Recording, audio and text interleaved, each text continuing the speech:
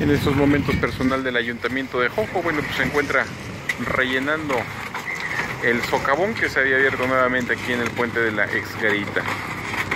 Comentan que bueno, estos son paliativos y remedios temporales hasta que bajen los niveles del río y se determine la causa que ha originado estos socavones.